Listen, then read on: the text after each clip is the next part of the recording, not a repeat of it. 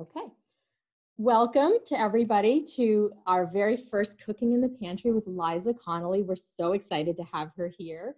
Um, just a couple things. I wanted to introduce you to Michelle Techler, who is our teen librarian and also helping with this program.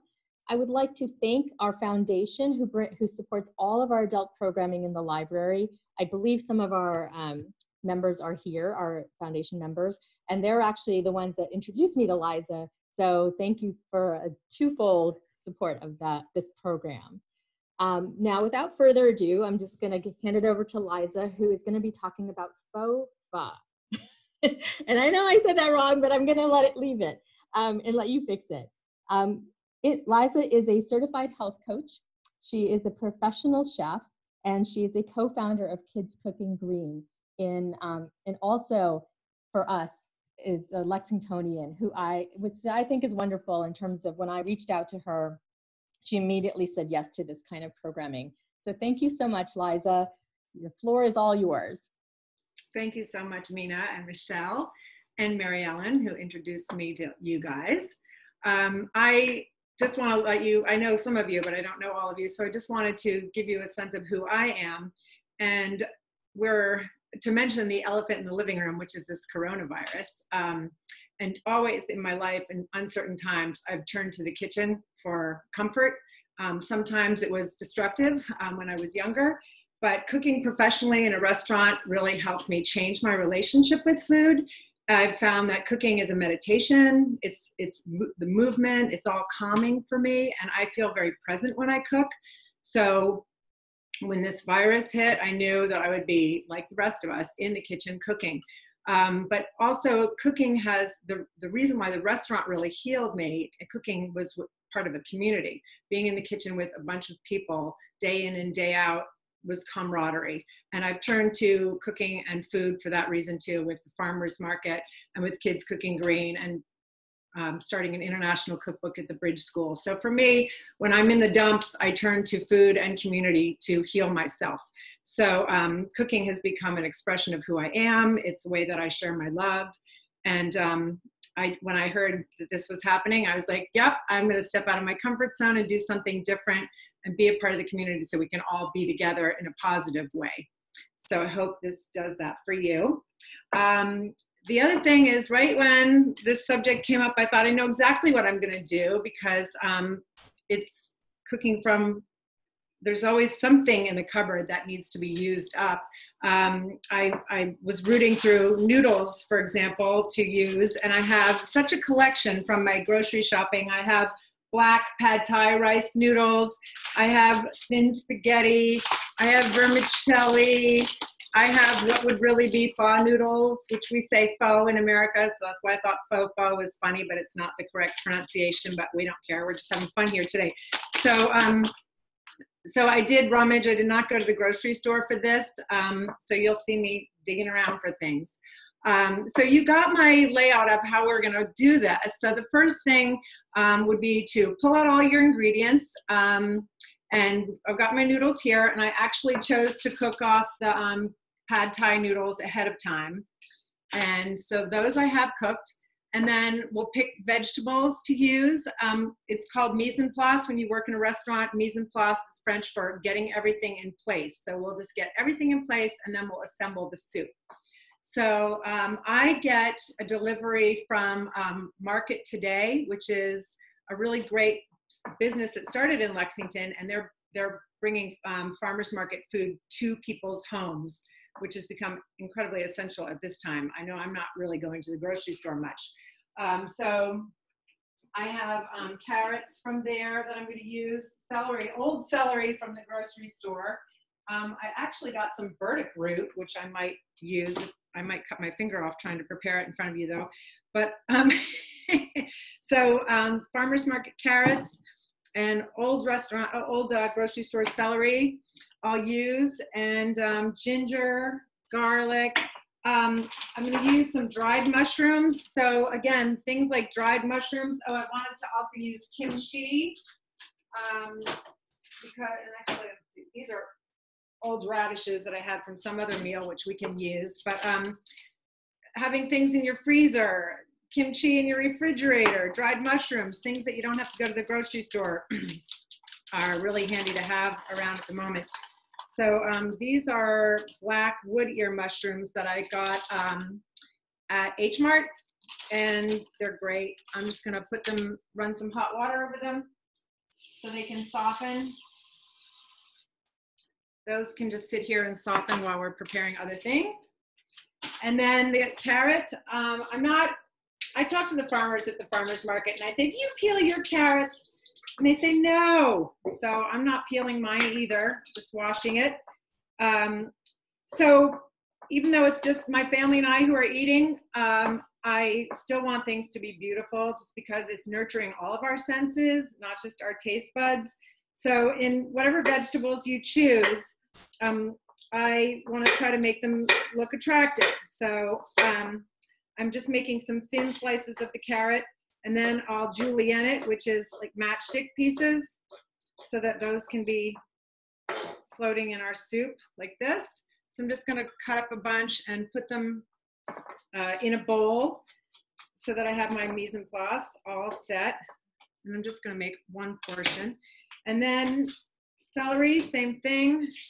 It's old, but I don't wanna, I, I don't know about you guys, but I haven't wasted a darn thing since this whole virus has happened. So, um, because you never know when you're gonna see celery again. So just gonna use it all and not worry about it. And I'm just gonna cut some pretty half moons here and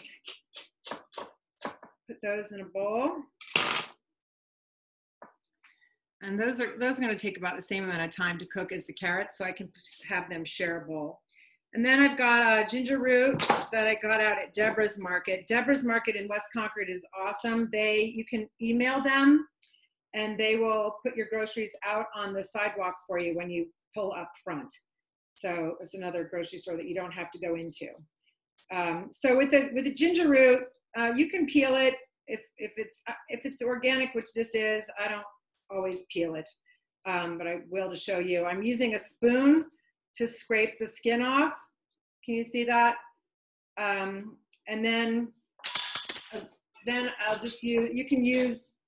I like to do uh, matchsticks of this, but if you don't have good knife skills, you could always just um, grate it on a microplane and then tap it and the ginger will fall off. But I love the taste of ginger. So, um, and I have nice skills, so I'm gonna put them to use.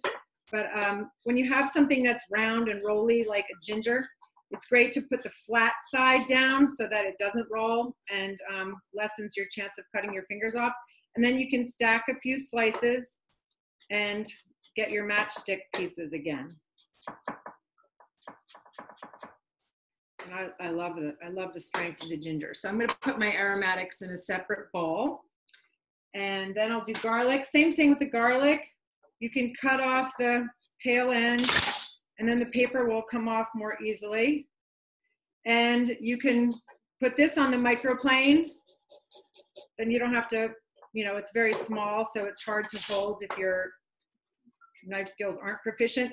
But really the key is, is Lori and I taught, Tisha and Sonia teach the kids in Kids Cooking Green, if you use your claw and you pinch the garlic, depending on whatever size you're doing, even if it's the carrot, you just put your claw down and drag your fingers back and you slide your knife up and down the vegetable or the garlic. So it's just the same, it's just on a miniature scale with the garlic.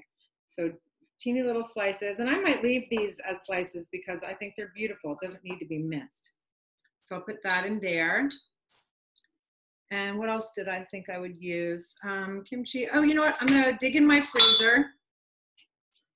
Um, I have edamame, shrimp, broccoli. Edamame, shrimp, and broccoli. We use those. And, Liza? Yeah. Liza, you have a couple of questions. Let's see. What do we have here? Um, I am located, Stephanie, in my kitchen in Lexington. Um, and the grocery store that I mentioned is Deborah's Market in West Concord. It's a teeny little grocery store. They've got lots of um, specialty products, but they also have fresh produce and uh, meats from local farms. And uh, you can shop online at Deborah's and they'll bring the grocery bag out to you so you don't have to go in. Um, yeah, West Concord. Oh, burdock root. Yes, burdock root is very cool. I'll show you how to do the burdock root. It looks like a black carrot. And um, you, this I would peel. Um, if I can find my peeler quickly. And um, carrot peeler, get it? Um, so burdock root is great for circulation, actually. Um, so it, I don't really find that it has too much flavor, but it's great to add in soups and stews um, for you know cleansing and circulating your blood. So um, with all the sitting we're doing these days, I think that's a great idea to add some burdock root. Yeah, like if I make beef stew um, or a vegetable stew, I'll use the burdock root. And this I got. This I got. I actually belong to a food co-op, um, and this came from the food co-op. So same thing. I'm going to cut this in half and put it on the flat side so that I don't cut my fingers off. And then this is um, kind of dense. So I want to cut it very thin, maybe even mince it um, to put in in the soup. So, and I love, you know, how I came up with this recipe. It's not a traditional pho uh, or a fake pho. It's, um, it's, I just, you know, when we're home, what, you know, we don't want to eat the same thing every night. And so uh, just thinking, you know, what do I like to eat when I go out? What what brings me comfort? And i love eating a big bowl of broth. It's very nurturing. And um, so i thought okay well how you know we have chicken noodle soup in america. So it's just another version. I mean you could be doing ramen but taking other cultures and just playing with them to see what you can come up with um, so we're to get out um, my frozen things so i'm going to use some broccoli we got to make sure we get our greens. Uh, edamame, so I'll use some edamame. And then I'm going to use frozen shrimp, um, or yeah, I'll use shrimp for my, uh, actually, there's peels on the shrimp. I'm not going to use the shrimp in the neck. But oh, the other thing I wanted to show you is if you don't want to use noodles, Trader Joe's has these great wontons. Um, and and H Mart has great wontons too. And since it's not a traditional thing, we could we could use those. I know my son is loving eating those. Okay, so got my noodles cooked. We've got our vegetables all prepped right here in bowls, so we're ready to go. And now I'm going to turn on the stove, and I have a pot over here. I'm to put um, a little bit of oil in, and then we're going to um, get the aromatics going so that it when when you heat up the aromatics, it brings the flavor out. So um, I know star anise is traditional. I don't have star anise in my house. Um, I do have ginger and garlic, so I'll use that. I love spicy things. Um, I don't have sriracha, but I do have these gorgeous little um, spicy red hot pepper flakes from Italy, which are really spicy. Um, so you only need one. I just pinch it between my fingers, and then I try not to wipe it on my eyes. Um, and so I think I'm gonna put these in. This is the ginger, the garlic, and the hot pepper flakes. And I just put them in the pan and stir them a little bit. Um, and once you start to smell the flavor coming up, that's when it's ready to add the other ingredients. Um, so like I said, I already cooked off the noodles ahead of time. And next we'll go in the carrots and the celery while I'm waiting for that, I'm going to cook up a little more carrots. You can use anything that you have in your house. I mean, frozen peas would be great in here too. Um, you know, Swiss chard, if you had any greens. I don't have any greens um, at the moment. That's the thing I keep running out of. Um, okay, so I hear this sizzling. Now I'm going to put in my vegetables.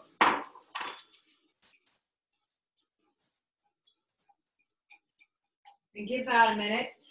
Now I'm going to use, um, for broths, I you could use a beef broth, store-bought beef broth. If you do, just water it down because it's very salty. I like to make it with miso, um, just for health reasons. I, I like to have miso. And or I have mushroom bouillon, which is great. You could use bouillon cube. Um, and then if you don't have anything, you could, I always save my mushroom stems, my herb stems. I put them in a baggie in the freezer. You know, usually you have a carrot, celery around. You can make your own veggie broth, basically out of nothing. Um, if you roast a chicken, save the carcass, throw it in the freezer, and then make a broth, you know, from scratch. Okay, these are going, these are sizzling nicely. So I'm gonna use miso. So while that's sizzling, I'm gonna put a tablespoon of the miso. It's, it's about a heaping tablespoon per, per person. So I'm gonna put that in uh, a bowl. And then I'm gonna get my liquid. Yeah. About a one and a half cups, um, I think, per person. Um, for broth and just whisk it. Um, so miso needs to be broken up so that it's ready to go. Awesome. Okay. So veggies are good. Now I'm going to put in our um, frozen veggies. Give those a stir. And then while that's working, I have my um, dried mushrooms are now all rehydrated and beautiful. So I'm going to take a handful. You have a couple of questions? You have, Yeah. a, couple, you have a couple of questions in the chat. Yep, frozen greens, yes. And I just, you know what, anything out of the freezer, you just, you can just throw it in even when the broth is um, in the pan. You can use anything. I think I do have some like minced up frozen kale and, and uh, you could throw that in. Dried seaweed, if you have seaweed, you could put that in. But you know, pho doesn't generally have vegetables in it. Has bean sprouts and herbs and meat that makes the, the, the soup really viscous. But um, in this case, if you're making a meal, let's add vegetables and just go for it. So um, in those mushrooms. And then, let's see, I can um, put in my broth. And a little more water. And I'm going to see, I don't know if I'll be able to show you this.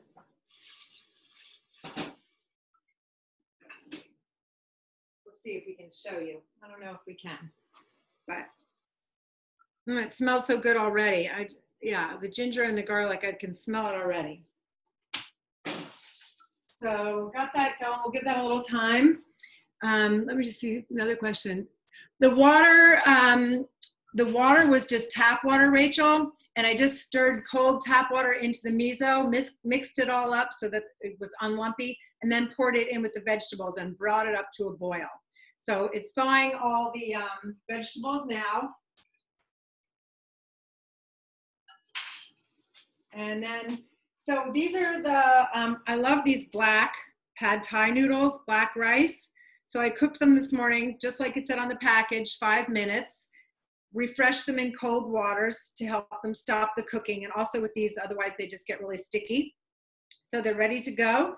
As soon as my vegetables are done cooking. And so traditionally with pho or pho, you have your broth and then you can sh- um, really thinly slice beef to put on top and just the heat of the soup will cook the beef and it will be very tender. We're not going to do that in a situation like this. So if you have leftover steak from the night before or leftover chicken, if you want vegetarian like I'm doing, you can do that too. So it's that's what I love about it. So if my son is eating, you know, I'll put loads of wontons in there, pork wontons. For me, I forgot to put these um, radishes in, which are they're all about, like I said, we're not gonna waste a damn thing. So I'm gonna chop these guys up and put them in. Good use for them. Add a little more crunch. Um, now we're ready. I'm gonna put um, the noodles in and then I can show you how to garnish it.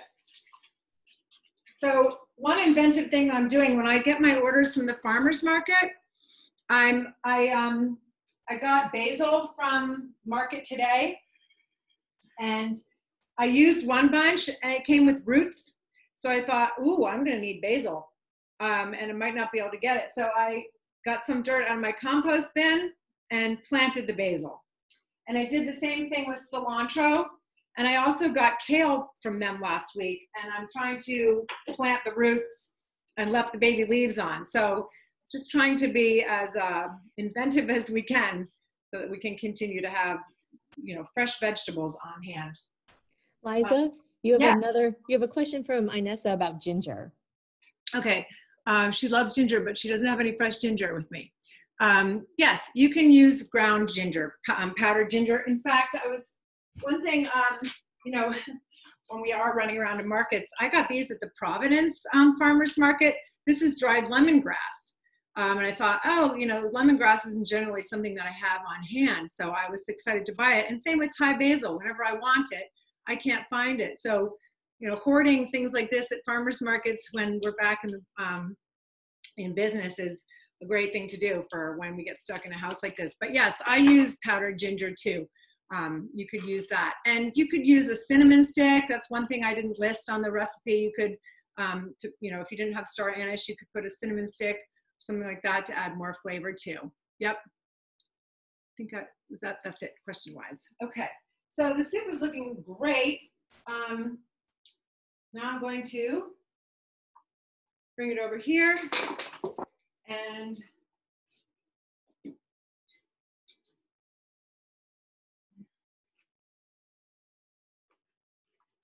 my trusty tongs and put the noodles in. And look at all those veggies. We're supposed to be eating um, six to nine vegetables a day to stay healthy of all different colors. And this is a great opportunity to um, use up what's in your freezer, use up what's in your pantry, and get your veggies in. Um, so I don't have any bean sprouts, but bean sprouts would be traditional on there. Um, got cilantro, which I love. Cilantro is a great thing to eat. It's um, really uh, important for detoxing. Like people who are on chemotherapy, juice cilantro um, to help get the toxins out. Um, and I, I, I'm I'm I'm fluent on how to get the toxins out myself. So finish it with cilantro, and there you have your fake pho. so and you can gear it to whatever anybody in the family wants, which is what I really like. Wow. Wow. Yeah, Thank you. Easy. That was You make a great meal in a few minutes. that's impressive. Rachel says it looks so good. It So- does. That look good. I'm going to open it up to questions. Feel free to unmute yourself if you have a question, um, or if you're not getting a word in edgewise, you can still send a chat. Um, Liz said, oh, so I just one and a half cups liquid for all those veggies? Well, it's I just made one portion, so one yes, because I mean, look, it's mostly veggies. Um, one and a half cups of liquid is plenty of liquid for one person. And like I said, we're supposed to be eating six to nine portions of vegetables a day. So in here is maybe three. So I'm getting a good start on my day. but yes, we got to um, try to get in a lot of vegetables. So it, it it's really not because um, things boil. You know, the the mushrooms go down. The broccoli is, you know, everything becomes smaller when it's cooked anyway. And also they're probably releasing some some liquid as well, right? Yes, yeah. I mean, this is a huge, this is a huge bowl, um, and it's full of liquid. So one and a half cups is plenty for one person. So if you were doing a family of four, you'd need a lot more. Liza, I've always heard that you shouldn't boil uh, miso because it destroys the enzymes, that you should add it at the end once the food is cooked. Well, you're teaching me something. So I don't know. I, I don't know. What's it say on the thing? Um, add water, bring to a boil. It does. Okay. Yeah. I've just heard that it has a lot of beneficial enzymes that are Yeah. destroyed. But so I've always waited, but so I'm makes thrilled to see you boiling with it. Good. Well, that makes sense um, to tell you the truth because it is, it's got all those great enzymes. So Yeah. Liza, I, I love your ideas of um, planting. I never would have thought of that. Um, planting those the resourceful, resourceful girl. My mom taught me to be resourceful. But you know, don't you? I mean, part of the fear of this whole virus thing is, you know, what is going to happen to our food supply?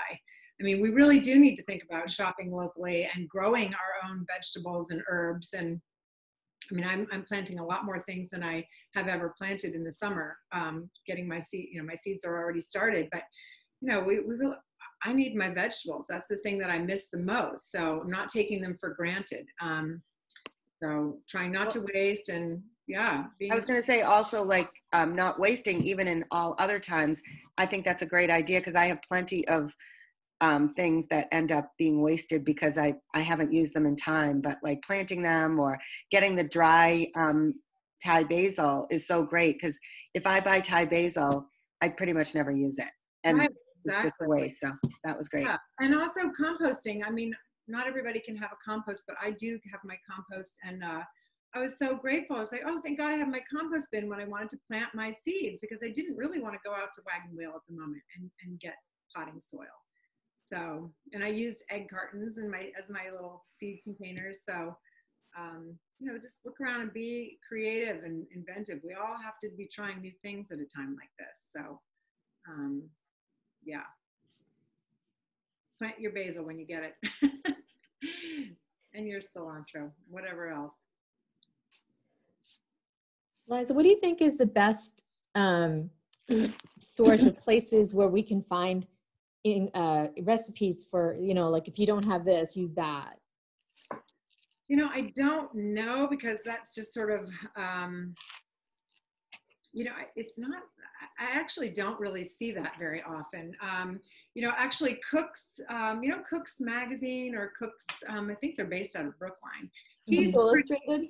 sorry Cooks Illustrated. Yeah, Cooks Illustrated. He made, he's the kind of person who I would think would say, you could do this if you can't do that. But it's not something that you typically see. So I've offered, um, you know, to help people with this. Uh, if you have a pantry that you're staring at and you don't know what to make of it, it it's actually my favorite thing. It's like putting puzzles together for me.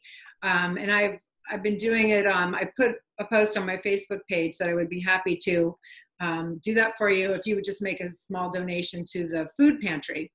And um, you know, there's I don't know, 700 and something dollars worth today has been raised um, in this way.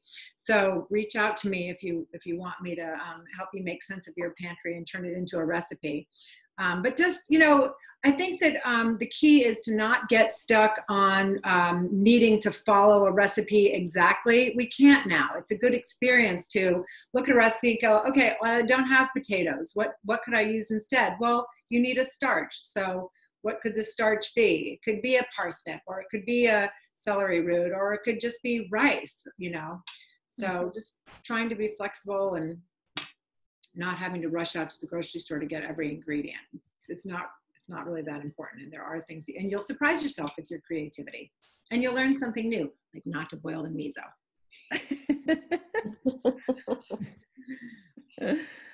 Eliza, um, where do you buy your miso? I got this at Whole Foods. Okay. Yeah, Yeah. I was wondering because I, I found it difficult to find a good one. Yeah.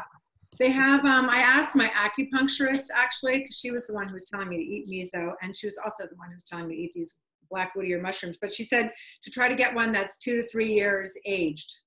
And so you can, you can, if you look, depending on the size of the Whole Foods. And does it matter the color, you know, of the miso? No, there's all different. There's, I mean, this is a brown rice one. I have a barley one, a chickpea mm-hmm. one. They're all different colors depending on what they're made out of. Yeah. If any of you belong to Farmers to You, they have a miso that's excellent. I just posted that in the chat. okay. They're the ones out of Vermont, right? yeah. Okay, great. Yeah, they Yeah. have two, they have several, two delivery spots in Lexington. One of them is in my neighborhood, so that's why I know about it.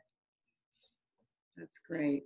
Yeah, local farms. I mean, Meadow Mist Farm. I, I'm, you know, the one thing that I'm really excited about is, even though this is a grueling experience for all of us, I really feel like it's bringing home all the messages that we, Farmers Market and Kids Cooking Green um, advocates, have been saying all along. Is you know, shop locally, support local farmers, um, support your the local environment. You know, in in when we're buying locally, we're supporting, you know, having a healthy Lexington.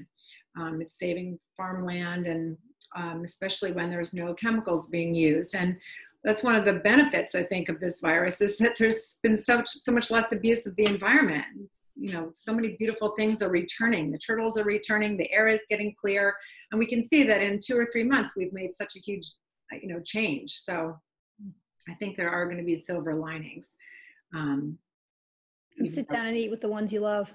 Yes, we can do it this way for now, but Yeah. no, things will change. But it's pushing us all, like I said, out of our comfort zones, and we just need to welcome it and find new ways to commune and find new ways to put ourselves out there and um, know that we are all connected. And food, food is a huge connection. Food comes from the earth.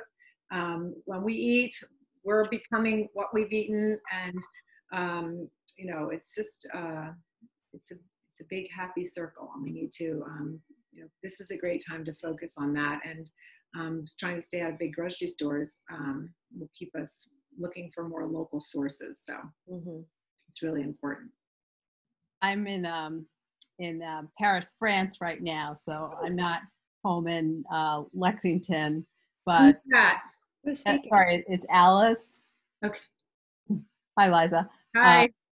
Um, we're we're living in Paris, France, and um, we're in lockdown mode here. But um, we have lots and lots of wonderful fresh fruit and vegetable places, you know, right in our neighborhood. So that's great, and we we go there every day. Um, so this looks like something great to do. and is everybody wearing masks in Paris? Oh yes, Yeah, oh yes. yeah. But you're still going out every day. um, we're the only thing we're allowed to do is go to the grocery store or go to um, the pharmacy. Yeah. So Liza, Yeah. there's a couple of questions on um, chat about Meadow Mist and ordering online. Yeah, well, Meadow Mist. Um, so Meadow Mist is right here on Merritt Road, um, and Market Today. Actually, that's one of the farms that they um, pick up from to deliver to your house. So if you wanted to deliver, you could go through Market Today. Um, they have an app, and they're Lexington based.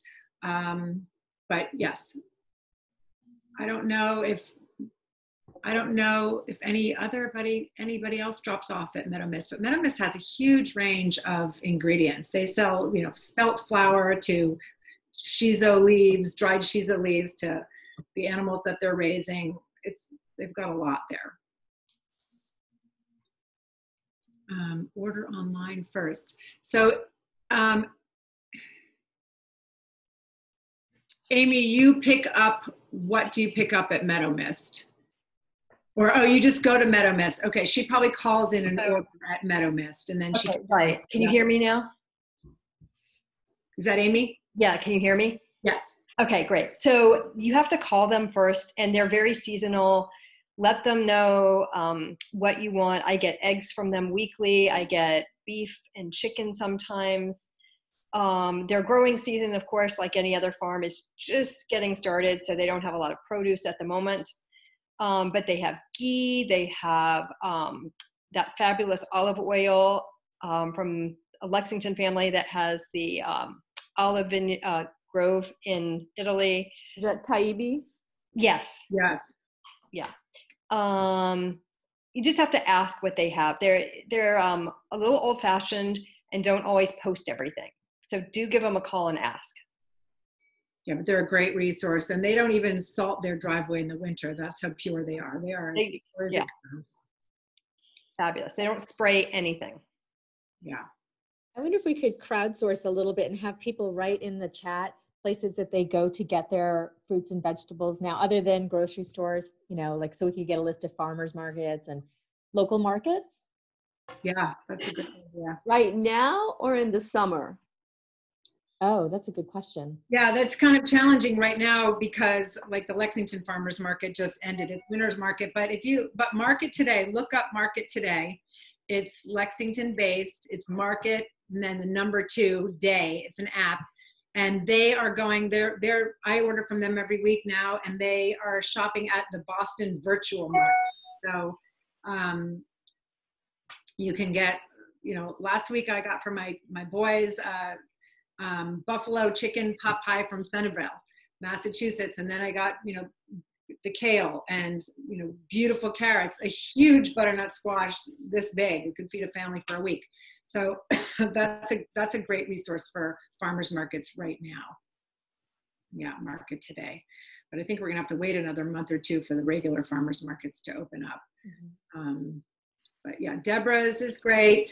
Um, there's also, I know they're super busy right now, but this Misfits, it's, um, I don't know, I think it's kind of um, regional, but there's Misfits, which are the carrots that have two legs and the eggplant that has a nose and, you know, the bruised to this or that.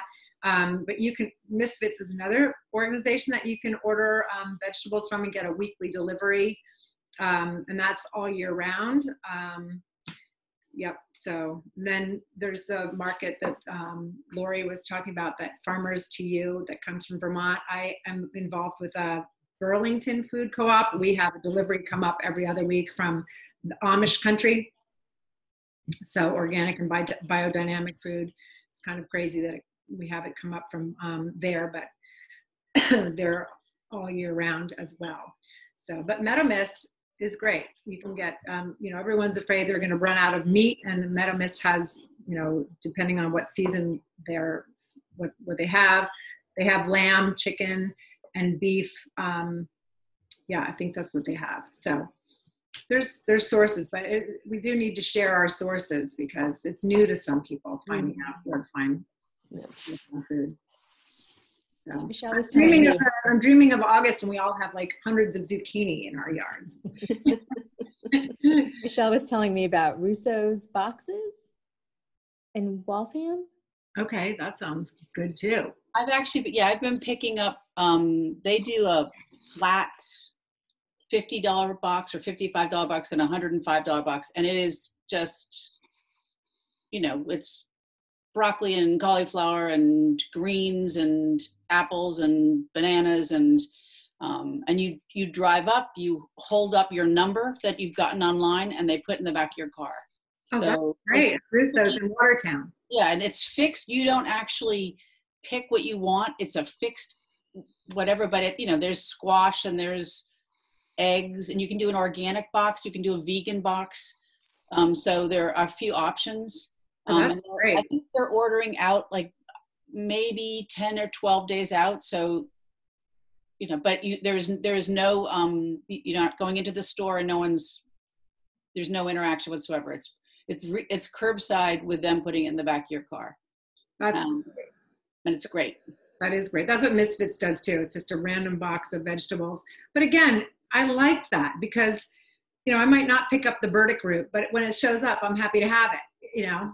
So it's good. You could try new things. Mhm. That's a good tip. Russo. Oh, there's Meadow Mist phone number. That's great. Yeah, that's an awesome list. Really Do we good. have any final questions for Eliza? Liza, I was just typing it, but can you chat a little more about how people get in touch with you? Because I love that idea of you donating to the food pantry. And but how do people get in touch with Yeah. you to So, say? um, good question, Lori. Um, on the uh, original um, link that Mina sent out uh, describing today's class, um, there was a, a link to my website. So if you go there, I mean, I can also tell you it now, but if you go to my website, then there's a, another link to my Facebook page or um, my Instagram. But the if you go to my Facebook page, it's just Liza Stewardson Connolly um, Connolly, C O N N O L L Y. If you look up Liza Connolly, you'll find my Facebook page, and there, there's my post. Um, I just made a, you know, mushroom, a cream, cream of mushroom soup, but with, without cream, but with parsnips instead. And it was, you know, I was, I thought it was a pretty picture on my mother's old-fashioned linens, and so I posted it. And then I just thought, you know what, I want to, you know, get more people. I had just donated to the um, bank you know five days ago and it had been on my mind. So i thought oh well maybe i'll just offer this and um, you know and it's turned out other people it's just you know resonating with people. And so Great idea. people are asking me to help them with their pantry and other people are just like oh yeah i've been meaning to donate to the pantry. Here's my opportunity. So um, yeah if you look on my facebook page And I Um, did notice also, it was a little bit down to the bottom of the page, but the recipe for what you did today was also included there. I don't know if anybody missed it, but when it came from Cary, it, it was included, but was sort of down by the bottom and I My phone number. I might have missed it. My phone number. Is that what you're talking about, Lori? No, I'm talking about the recipe for what you just did was actually included in the link from the library, but it was Oh, sort yeah. of towards the bottom. Yeah. Yeah, a little PDF um, at the bottom if you want to print that out so that you can, you know, reuse it, re-watch the guide. And my phone number is at the bottom if you want to send me a text, I can help you with your pantry. Awesome. So, Great. Nice idea. So I would like to say thank you to Liza for today, for taking her time and sharing her expertise. And I thank all of you for hel- helping us create this wonderful list that I'm going to send out to everybody. But first, let's say thanks to Liza. Thank you. guys, thank you guys. And Stephanie, um, Stephanie, who started uh, the market today, she just put up the link for the app if you- um, on the chat. Oh, okay, cool. Thank you. Yeah. Um, I did want to say that this is a series. We're doing it for uh, the next six weeks, and Liza will be back with us on May 12th. Um, same time, same place, different Zoom link though. And um, I don't think we've picked a topic yet, right? We haven't. We No. have it. No, we haven't. But next week we're uh, doing some, well, every Tuesday. So check our calendar for that. And also, you might be interested in a um, gardening program we have tomorrow about starting a seed garden. So if you haven't looked at that, you know, that's a really good one too. Um, and just thank you. Thank you for helping us do this thing in a, in a creative and innovative way. And I'm going to go make some pho. Do it. Nina, where do we find? If people have ideas, ob- obviously, um, when I do the next one in May, it will be again something out of the pantry. Um, but if people have ideas of things they'd like to learn, I, I was thinking of making a couple different varieties of pasta dishes, just because um, there's a couple great tricks, and you can use whatever's in your house to make a great pasta dish. So I'm leaning that way, unless other people have an idea of something that they're they're, they're curious about. That Okay. sounds great. Everyone loves pasta. Everyone loves pasta. Right. Um, so a couple of questions just came in. The gardening class is on our calendar. You can still sign up for it. Um, where is the recipe? It's in the email I sent out yesterday at the very bottom. It's in a PDF, but I'll send it out again um, when I send out notes from today's meeting. And also to, um, after today's meeting, I'll send out in the email, I'll include a feedback survey link. If you guys want to let us know how we've done, um, it's always super helpful for us to know what to do better next time. Yeah, that's great. Okay, we'll Thank consider you. doing a salad next time. Salad. yes, uh, that's cool. You guys are awesome. This is really Thank fun. you, Mina. Thank you for organizing and thank, you, Thank Liza. you. Oh, absolutely. highlight of the day. Good to see everybody. All Thank right, you. Bye. Bye. Liza, can you stay on for a minute? Yes. Okay, thank you. And Michelle.